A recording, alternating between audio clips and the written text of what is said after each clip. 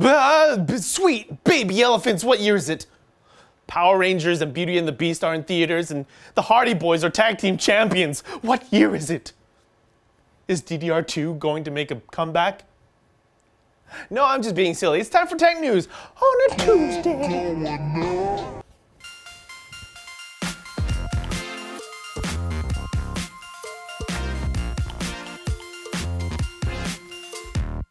Do you have a Nintendo Switch? Do you like to play your Switch in dock mode? Well, stop it. You're only hurting yourself. And the Switch. Sort of.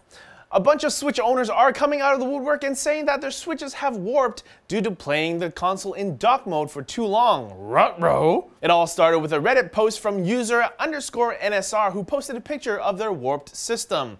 Then more Redditors posted up pictures of their warped system and then a whole chain reaction. Underscore NSR did reach out to Nintendo and the support team said that they would get it repaired for him.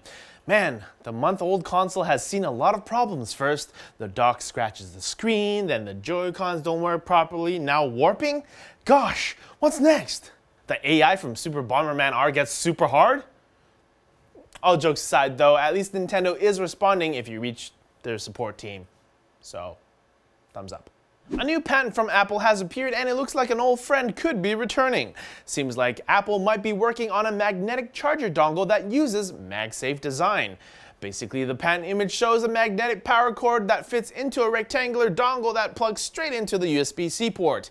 Maybe Apple finally heard the cries of all the new MacBook owners about not having a MagSafe power port. Hopefully, MacBook owners don't need to suffer much longer and Apple will start on production of this dongle ASAP. Hashtag dongle life. Hashtag raise your dongles.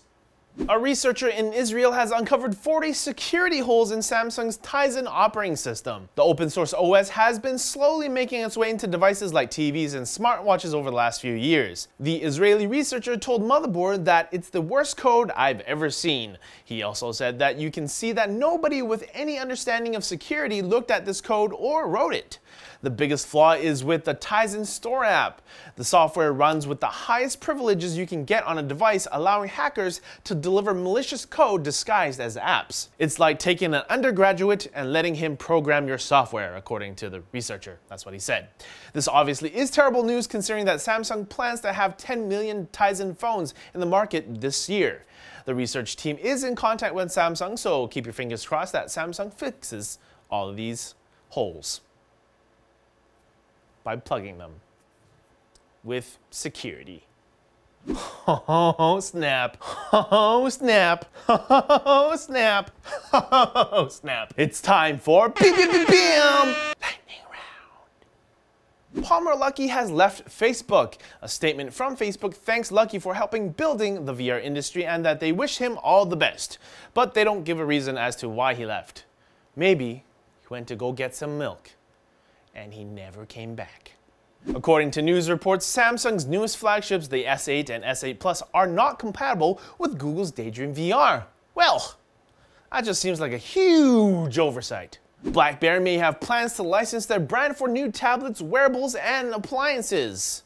Right, because back in 2011, the BlackBerry Playbook did so well. Eurogamer tweeted out that they will have an exclusive Project Scorpio reveal on Thursday morning at 6 a.m. Pacific. And Transcend has launched their first NVMe SSD named the MTE850, which apparently gives the end user both speed and reliability.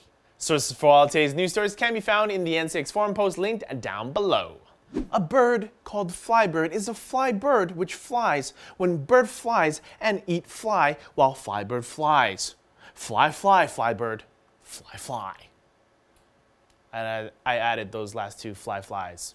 Not sure what you're trying to say though, but thanks for the submission, GoPintnav. I hope I'm saying that right. If you have something random for us to say, tweet us with hashtag NCIX. Yo, dog. Yo, dog. Hey there folks, do you like snazzy t-shirts? I do too, like this one that I'm wearing. Where can you get it? At ncix.com, of course. We have four different designs in four different colors in a bunch of different sizes. Plus, you could save 15% on your car insurance. Wait, that's not right.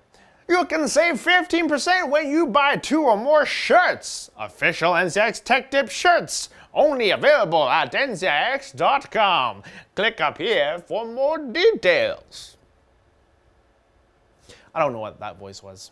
Well, alright, that's it for Netlinked Daily. Thank you so much for watching. Click over here for previous videos and check us out on Twitter over there. But as always, like the video if you liked it, comment down below for fans with benefits, and subscribe for more videos like this from NCIX. See what I did there? Because it says NCIX on my shirt. You got it. On a Tuesday, got your girl in the gut and she a club going up.